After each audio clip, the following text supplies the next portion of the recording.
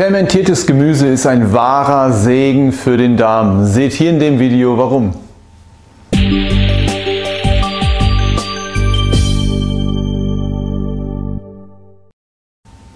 Ja, ich werde ganz häufig gefragt, sag mal, kennst du nicht irgendwie ein gutes Probiotikum, was man jetzt nehmen kann? Mein Darm geht es nicht so gut, ich brauche glaube ich Darmbakterien. Äh, was kann ich da machen? Und ähm, es hat sich über die letzten Monate für mich äh, privat, persönlich, aber auch in der Praxis äh, eine Antwort ähm, rauskristallisiert und das heißt fermentiertes Gemüse. Fermentiertes Gemüse ist ein unglaublich wertvolles Lebensmittel, das denkt man gar nicht. Es ist in unserer Kultur ziemlich zurückgegangen, ähm, Gemüse zu fermentieren. Das war eine Möglichkeit früher, ähm, als es noch keine Kühlschränke gab, um Gemüse haltbarer zu machen. Aber dieses Wissen ist über die Zeit immer mehr und mehr verloren gegangen. Viele von uns kennen das Sauerkraut, aber Sauerkraut, so wie es heute gekauft und angewendet wird, ist eben nicht mehr das, was es mal war denn es muss echt und original fermentiert sein und sollte nicht in Gläser verpackt sein, wo es dann ultra hoch erhitzt wird zum Konservieren, weil dann ist alles, was da drin irgendwie lebendig ist, tot. Aber was ist eigentlich Fermentieren und was ist das Besondere daran?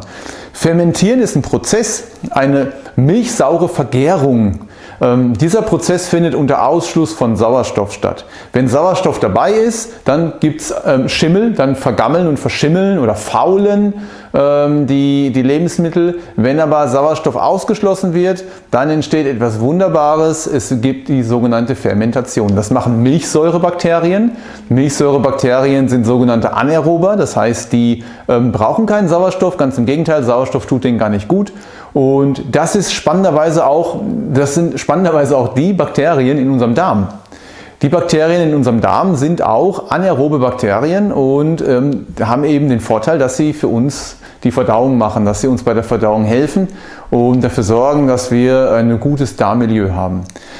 Jetzt ist es so, diese milchsaure Vergärung in Lebensmitteln vor allen Dingen im Gemüse, ähm, hat den, den Vorteil, dass diese Milchsäurebakterien sich anreichern, dass es immer mehr und mehr werden. Die Milchsäurebakterien ähm, sorgen dafür, dass bestimmte Stoffe aus dem Gemüse wie Kohlehydrate oder bestimmte Faserstoffe oder bestimmte Elemente wie, wie Spurenelemente äh, zersetzt werden und umgewandelt werden zu etwas noch viel Besserem. Also das, was eh schon gut ist im Lebensmittel, wird noch besser gemacht.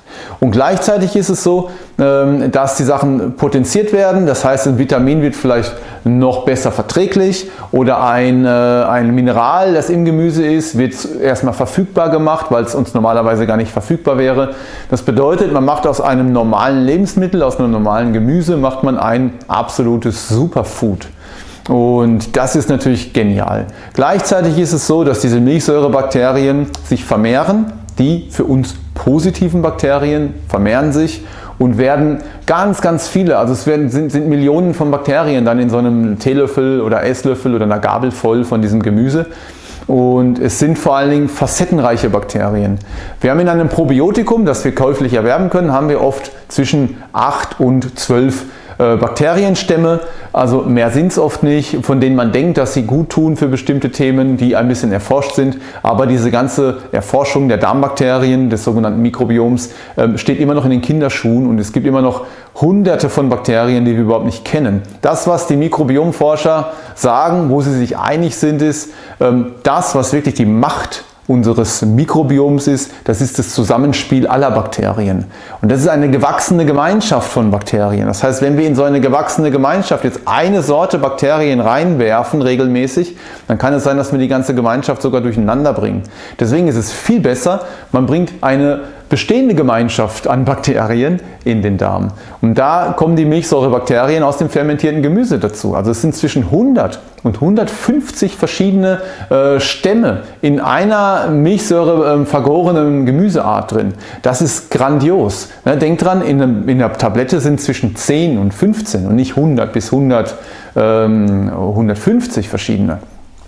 Das bedeutet, ihr habt einen riesen Vorteil für euer Mikrobiom. Und wenn wir da mal zu den gesundheitlichen ähm, Vorteilen kommen, die, die solche, solche fermentierten Gemüsearten machen, ähm, das ist zum einen, dass ihr Vitamine, Mineralien, Enzyme, Probiotika, ähm, Phytonährstoffe bekommt. Ähm, ihr bekommt diese, dieses milchsaure Milieu, das heißt das gesamte Milieu wird etwas saurer. Das ist gut gegen Pilze und andere Keime im Darm und ihr habt natürlich diese wertvollen äh, Bakterien. Das wiederum hat zur Folge, dass die ganze Verdauung sich verbessert, die Aufnahme von Lebensmitteln wird besser, von Nährstoffen wird besser, die Verdauung, also das heißt Durchfall, Verstopfung verbessern sich unter Umständen. Potenziell pathogene Bakterien werden verdrängt durch die guten. Das Milieu wird etwas besser, dass auch da die, die negativen Bakterien verschwinden. Also es ist ein riesen Zugewinn für die Verdauung. Ihr müsst aufpassen, wenn ihr euch damit beschäftigt. Ich werde gleich noch sagen, wie man das macht. Aber wenn ihr euch beschäftigt damit, wenn ihr ähm, fermentiertes Gemüse esst, dass ihr nicht zu viel esst am Anfang. Esst immer nur so, so eine kleine Menge. Also ruhig zweimal am Tag oder einmal am Tag, aber so eine Gabel voll. Und wenn ihr das gut vertragt, dann nehmt am nächsten Tag gerne zwei Gabeln voll. Und wenn ihr das gut vertragt, könnt ihr ruhig ein bisschen mehr nehmen. Das, was wir so gewöhnt sind, wenn wir sagen, wir machen irgendwie ein Gericht mit Sauerkraut, ist oft so ein Riesenhaufen Sauerkraut. Und das ist aber überhaupt nicht gut. Das sind viel zu viel fermentierte äh, Gemüsearten oder fermentiertes Gemüse und das kann dann so dazu führen, dass es Blähungen gibt, weil die Bakterien natürlich unglaublich arbeiten im Darm.